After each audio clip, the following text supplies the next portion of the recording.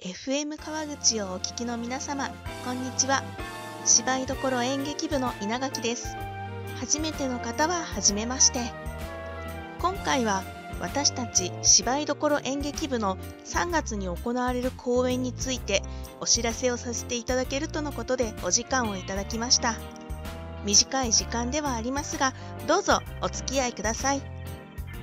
さて私たち芝居どころ演劇部は毎年夏の子ども向け公演と冬から春にかけての本公演の年2回の公演に向けて活動をしている劇団です。年2回の劇団公演の他にも地域の子ども会でクリスマス公演をしたり鳩ヶ谷駅夜祭りに参加したりもしています。部活の雰囲気で劇団のクオリティををモットーに社会人や主婦などさまざまなメンバーで日々稽古に励んでおります。ちょっと前までは学生もいたのですが学生も無事社会人になりましたので絶賛フレッシュなメンバー募集中です。フレッシュに限らずメンバー募集中です。そんな私たちの今回の公演ですがこれまでの作品とは少し毛色の違った作品になりそうです。作演出は芝居どころ演劇部では初めての愛知。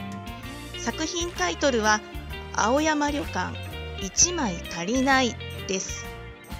青山旅館1枚足りないというタイトルからして謎の多い感じの作品なのですが一言で言うと芝居どころ演劇部がお送りする新作オリジナルサスペンス。ホラーいいえコメディです。というわけでさらに謎が深まった気もしますが簡単に作品のあらすじを紹介させていただきます。皆さん落語の皿屋敷はご存知でしょうか？お菊さんの幽霊が夜な夜なお皿を1枚2枚と数えるくだりは知っている人も多いのではないかと思います。そのお菊さんのご主人だった青山修善の邸宅跡に立つ老舗旅館青山旅館。皿屋敷伝説の残るこの旅館が今回のお話の舞台になります。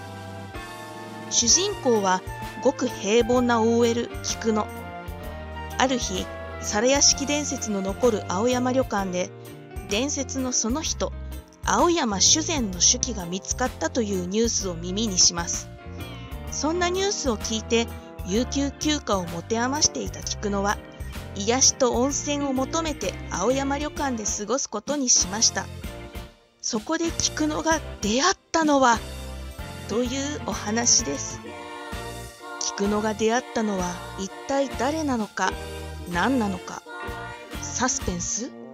ホラー？いいえコメディです。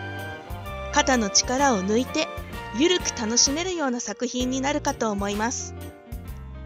公演日は3月2日と3月3日の土日2日間。公演時間は3月2日が17時半から。3日の日曜日が13時半からと17時半からの計3回公演になります。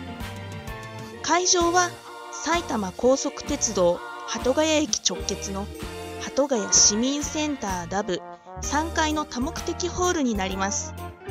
入場無料。全席自由です。公演の詳しい情報はホームページやツイッターに掲載しております。芝居どころ演劇部でぜひ検索してみてください。ひらがなで大丈夫です。本番まで残り少ない時間の中劇団員一同力を合わせて稽古に取り組んでいます。ぜひ多くの方に見ていただけると嬉しいです。よろしければぜひ足をお運びください。ここまでお聴きくださりありがとうございました。